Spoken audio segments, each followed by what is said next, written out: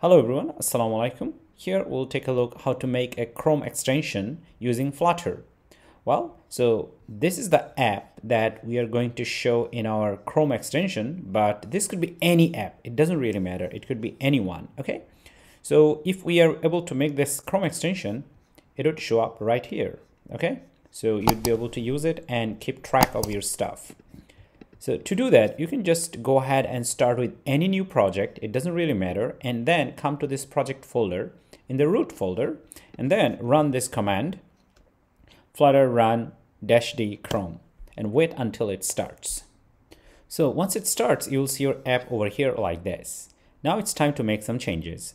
To make changes, first we need to come to first we need to come to our web folder and inside a web folder, inside this HTML folder over here, we need to replace this uh, script tag using a new code.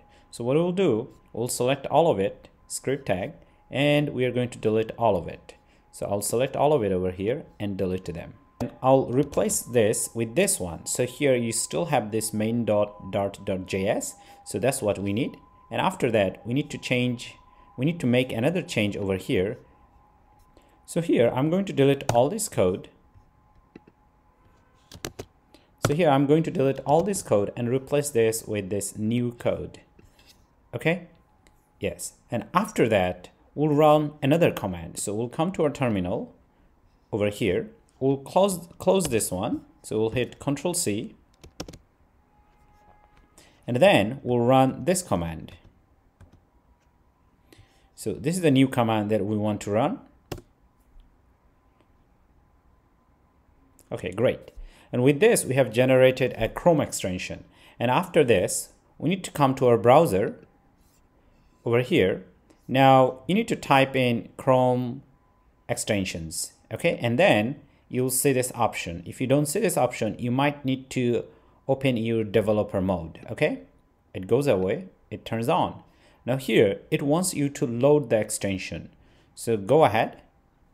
Now you need to come to your project folder, which is this one for me. And after that, I'll go to this build folder, not this web folder, the build folder. And then here, I'll select this one and open it. Okay, now here it says extension loaded. Great. Now, if you click on this one, if you click on this one, you see that Flutter Chrome extension. Now, go ahead and click on this. You hover over on this, it looks too small. Well, we need to make a change. To make the change, we'll come over here.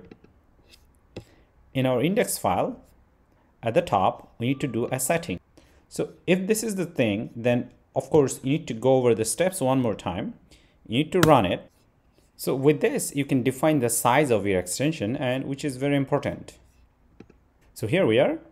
And then once again, we'll close the command and then run the other command and it will create the extension for us.